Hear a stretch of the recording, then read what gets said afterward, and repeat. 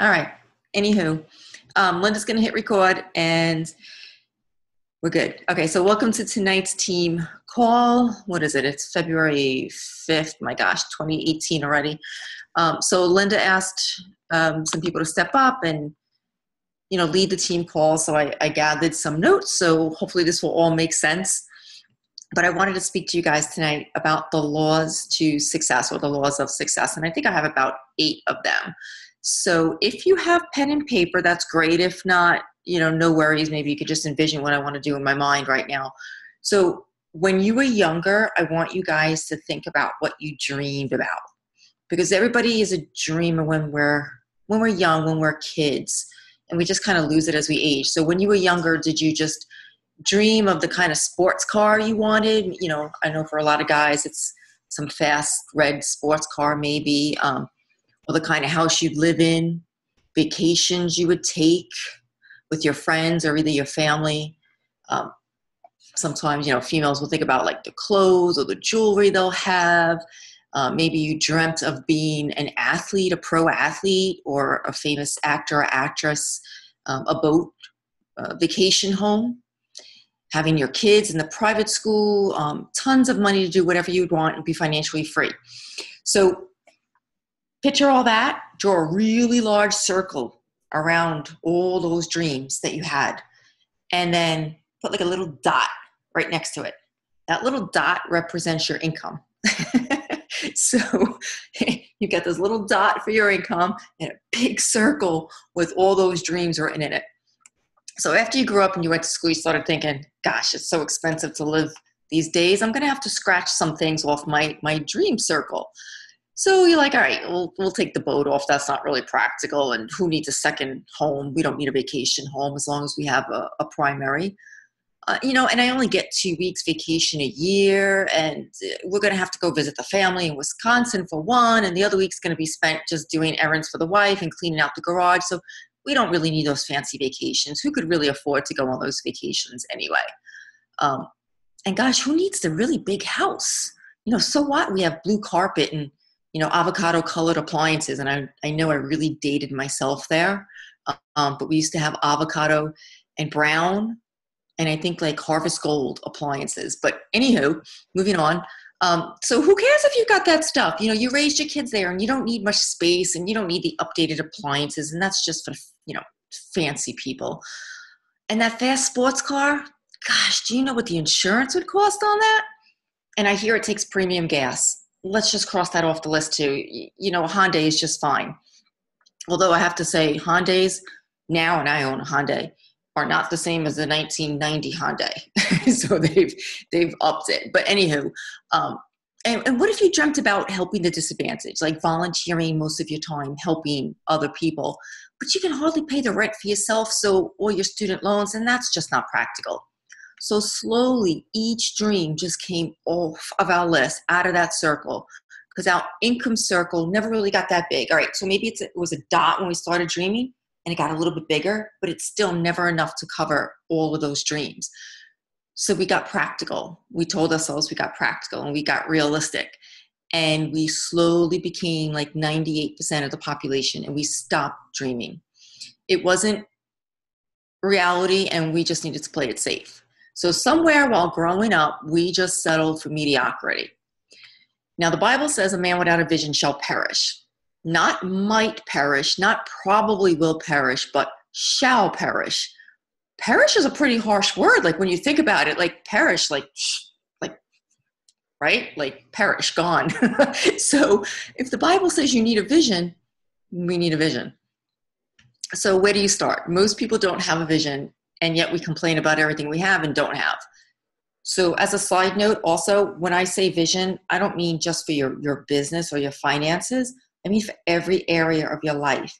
Spiritually, where do you want to be in your relationship with the Lord if, if that's your thing?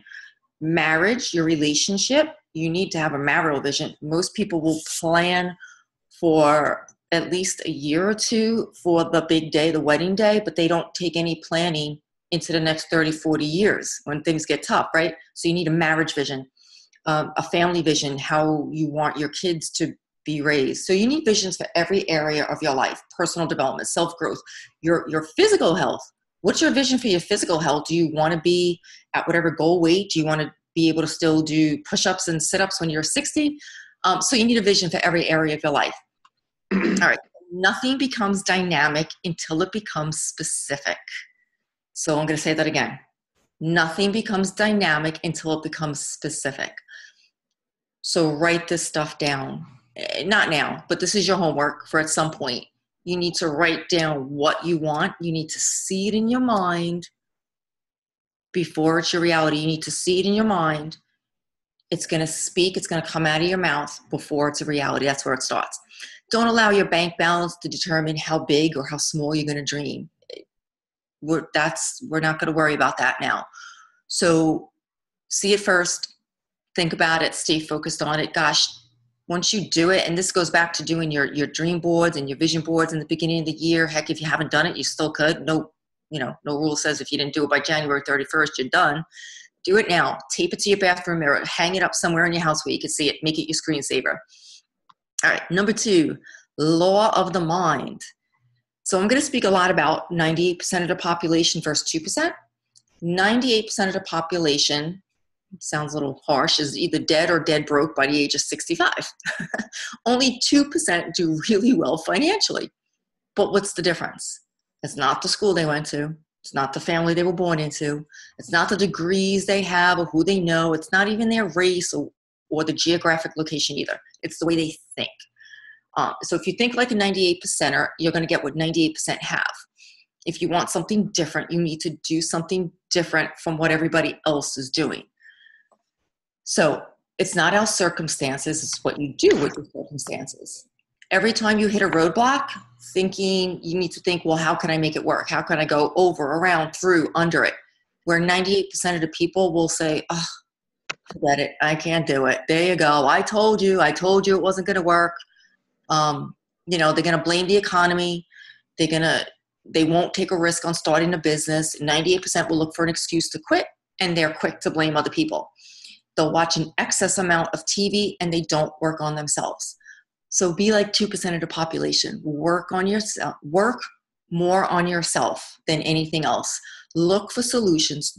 Don't make excuses. Excuses are well planned lies. I need to tell myself that many times because I, I try and convince myself it's not a well planned lie. It's legit. I really can't do this. Blah, blah.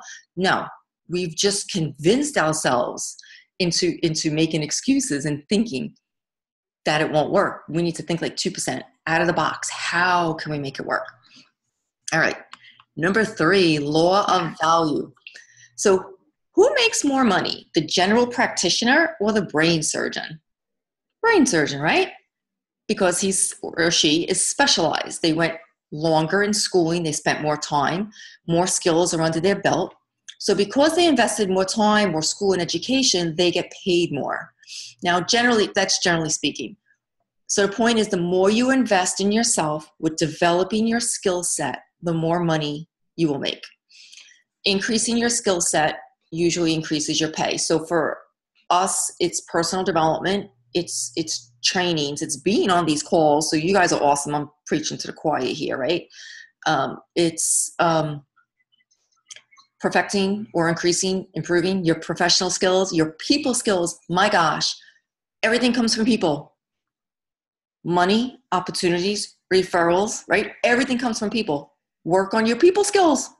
Okay, you need to know how to relate to people. There's some really good books out there. Um, one it skips my mind now. If I remember, I'll, I'll say it later. But there's a lot of good books on there and leadership skills. So work harder on yourself than anything else, and you will be unusually successful. Each of us can be increasing our skill set daily, whether that's inviting, follow up, edifying our connects, whatever it is, just work on your skill sets. Four, uh, the law of sowing and reaping. So if you guys plant corn, what are you going to get? You, I should make this like interactive. Corn. If you plant corn, you're going to get corn, right? Uh, but what if you're a really, really shy farmer? If you're like really, really shy and you plant corn, what are you going to get? You're still going to get corn, right? Okay. So we've been taught this lie that you need to be lucky or you need to be at the right place at the right time You need to be the right color, the right ethnicity, the right neighborhood, the right blah, blah, blah, blah, blah. 98% is think that if you plant corn, you'll get strawberries. Like, no, no, no, no. And, and those are the people that'll blame the government, they'll blame the ex spouse, they'll blame the kids for holding them back, they'll blame the job, their boss. Um, they think that if they do the bare minimum, the world owes them. It's, it's kind of like a lottery mentality. They want to do bare minimum, but like hit it big. Um, so when you plant corn and blame somebody else for not getting strawberries, take responsibility. we can all plant corn. You're going to get corn. If you plant corn, you get corn. So where you are now is the sum of all your past decisions. So if you're not happy with your finances, with your relationships, even with your bank deposit, um, with the growth in your business, it's because of every past decision you've made up until now. But the good news is you can change it. Where you want to be in five years from now, just change your decisions going forward from today on. So, sowing and reaping um, with your thoughts, even. If you complain about your lack of money or your relationships, or oh, my business is not growing and I can't attract leaders, and oh, my people aren't doing anything, well, you're now you're speaking death over your whole situation, and that's a whole other topic. but get those thoughts aligned. So even sowing with your thoughts, um, what you feed will flourish. What you neglect will die. So focus on gratitude, focus on the little sprouts, focus on the little accomplishments. You know, you signed a person up and they only got 50 PV, celebrate it. That's awesome. Um, don't speak death over that situation. So focus on the good, speak life into all areas of your life. If you want more encouragement of your life, you're like, oh gosh, nobody encourages me. Well, you know what? Be an encourager. If you want referrals, give referrals. You have to give what you want. If you want people to like and comment on your posts, like I, I hear people saying, I post all these things on Facebook and nobody likes and comments. Well, are you liking and commenting on everybody else's? More often, eh, probably not. Um, so do what you want. If you plant a seed, you're going to reap a harvest. number five, law of desire. So let's think back to when you were young, like, and what maybe some things were told to you.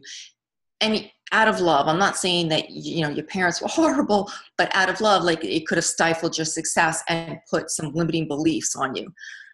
Um, I'm not saying your parents would have said you're not good enough, but you know people we met maybe in the school system a, a teacher who just didn't believe you um, this is one thing that i could say parents do sometimes out of a loving place but they say don't get your hopes up so if you've heard don't get your hopes up your whole life and that's coming from a place of love from your parents because they don't want you disappointed that's placed a limiting belief on you as an adult what about money doesn't grow on trees? That's another limiting belief, right?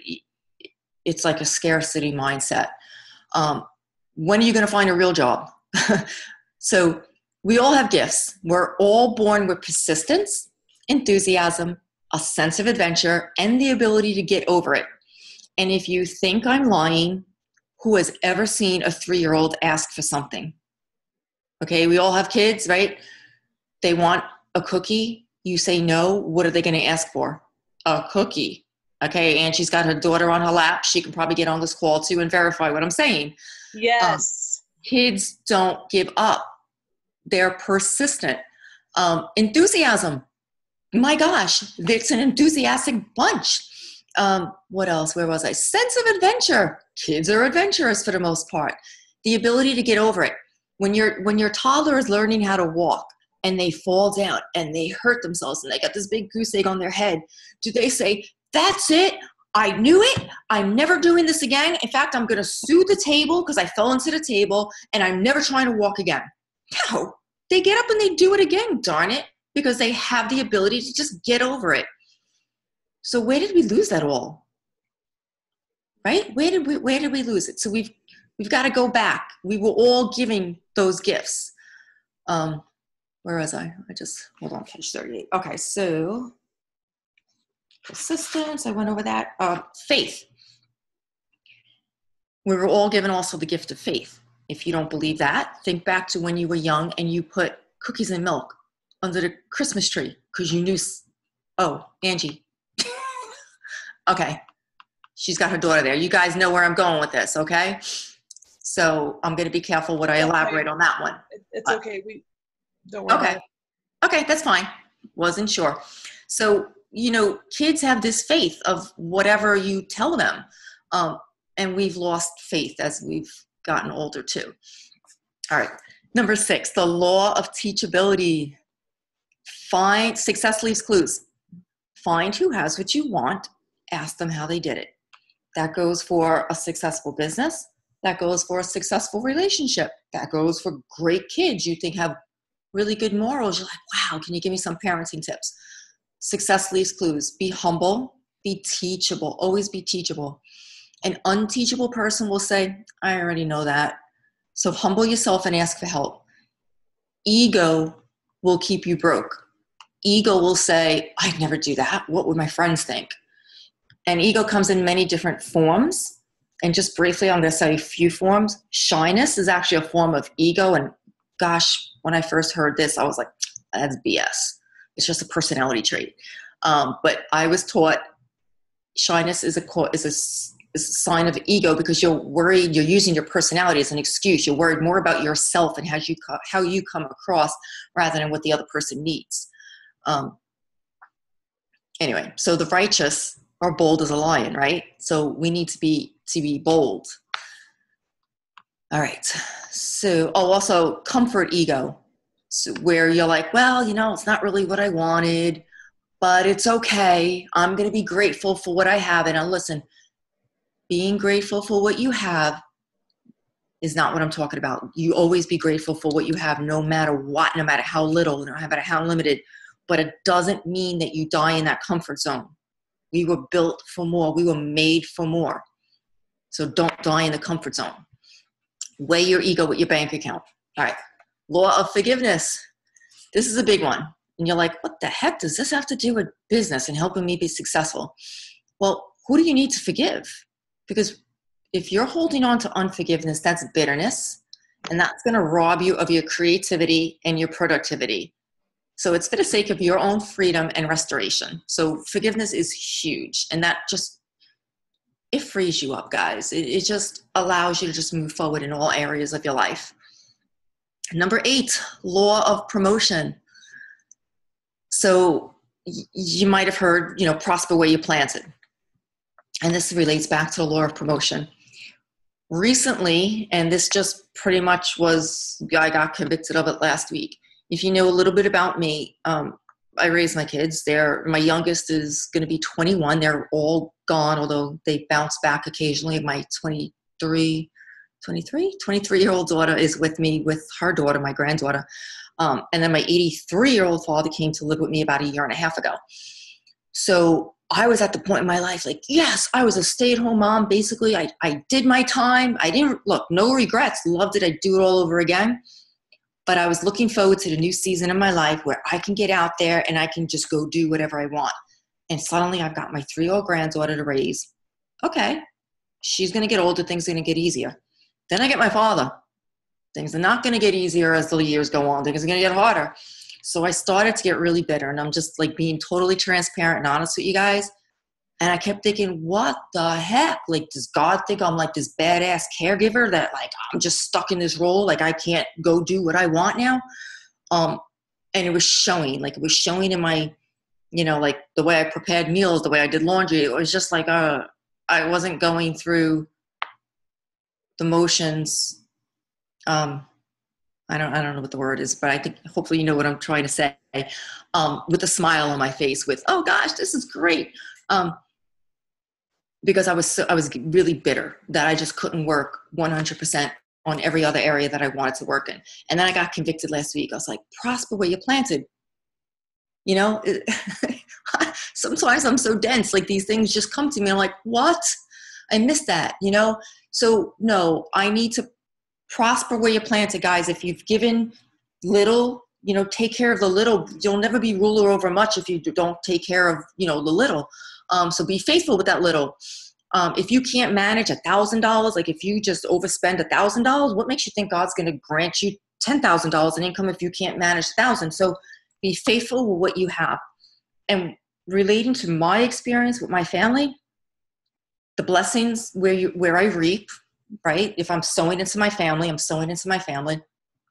You might reap blessings in another area of your life. So it's not necessarily where you sow that you'll reap.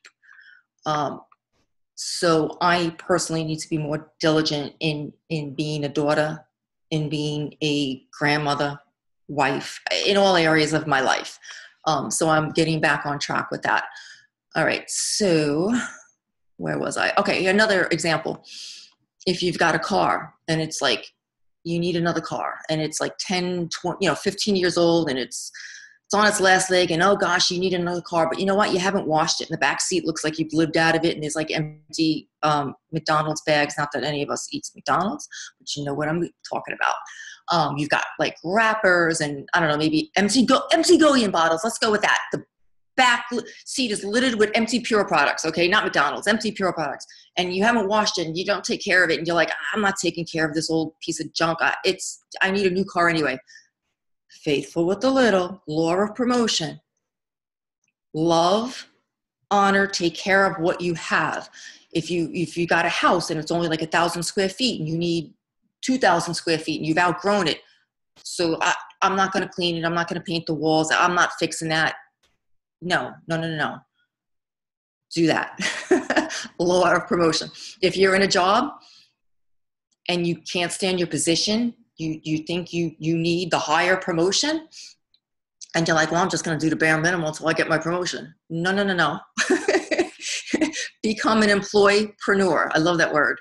Um, so treat your um, or don't be like the 98% don't do the minimum required by your job description don't say if i made more i do more or if i was appreciated more i do more no it starts with you give first you won't get promoted to the next position until you assume in your mind that you already have it and act like it um, so that's it so sometimes when we sow into one area of our lives and being faithful for what we have been dealt with even though it's not what you planned um, the blessings will come in another area of our life. So, that real quick, I think I did it in like 24 minutes, was our eight laws of success. Hopefully, that made sense. Um, and that's about it.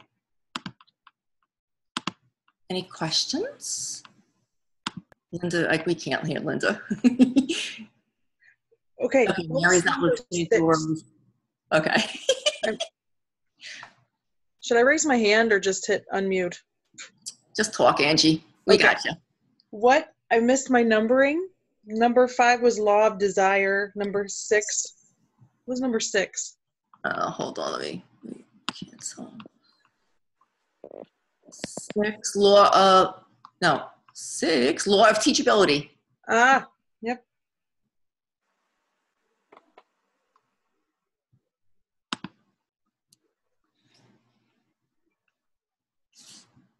I don't think Linda can. Can we hear Linda or no? Is she still like no audio? No audio capable. I don't know what the heck's up with that. All right. So that's um, really good, Fran. Oh, good. Yeah, appreciate Glad you liked it. I, hey, that content wasn't from me. yeah. Well, you did good presenting it. I, I didn't write it. I just you need to good, be You did good presenting it. Reminded so. of it constantly hey, uh, question: Do you have a copy of Beach Money? Rob um, wants to read it, and I think I left mine in Las Vegas.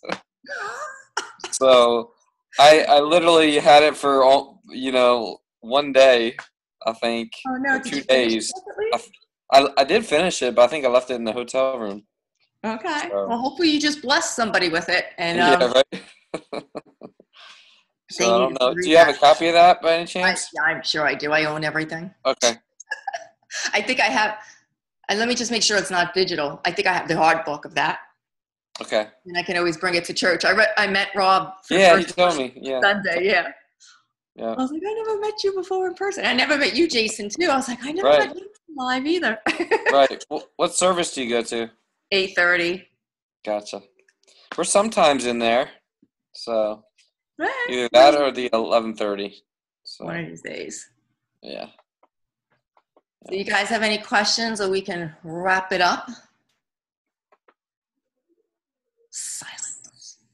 Well, right. I will just say that you confirmed everything God's been showing me lately about being mm-hmm. content where I'm at. And I, like when I get go do the laundry and what I think to do around the house, like you said, just going through the motions and not even smiling about it. Like God's like, why aren't you just enjoying where you're at? Like quit fighting.